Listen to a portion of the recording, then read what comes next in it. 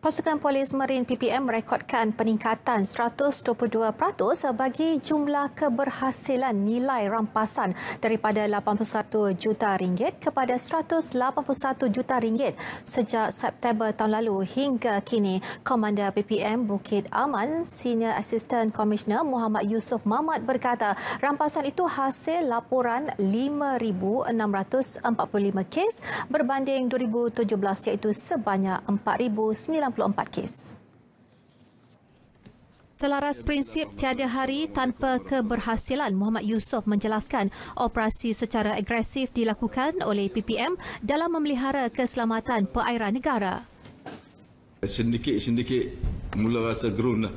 Ha? Dia rasa hormat pada uh, Marine dan uh, dia orang tak beranilah cuba nak masuk untuk uh, negotiate dan sebagainya eh, dengan pendekatan saya tadi itu insyaAllah uh, saya dah beritahu semua komander-komander saya di wilayah untuk tidak kompromi dengan isu-isu sindiket eh, bersindiket apa juga sindiket haram Agensi penguatkuasaan perairan itu turut menyenaraikan perairan Pengerang Johor hingga ke Sepang Selangor sebagai laluan panas sindiket penyeludupan migran rokok, arak dan dadah.